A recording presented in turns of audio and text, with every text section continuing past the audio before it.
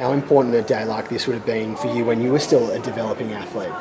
Oh, look, it would have been gold, seriously. What I just heard from Alison, Sarah, and I guess my presentation as well together is stuff that athletes don't hear or know about um, until they've, they've already retired or they've been and done it. You know, I think it would have been gold to, to have learnt that early on.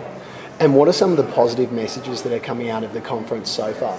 I think the most positive message is actually the branding, you know, and really building building yourself and your career into a brand and a really positive brand, and connecting a message to that. And I think the message that that um, Alison and, and Sarah gave was that they're out there helping women strive for success as well, and, and especially Sarah with netball.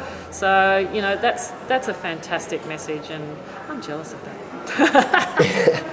Just in terms of the young women that are here today, what's what's the one thing that you would want them to take out of the conference?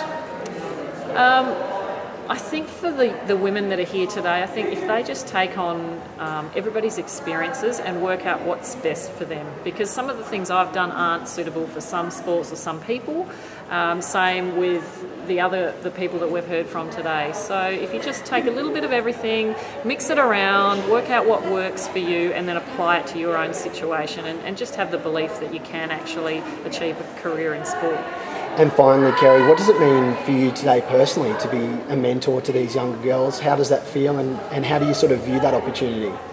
I've always been interested in, in helping be a mentor um, for not only girls but anybody in sport. Uh, love doing it within my own sport and um, just feel like I, I, I, want to teach people from my experiences. You know, 25 years as an elite athlete's a hell of a long time, and if I haven't learnt something, then you know.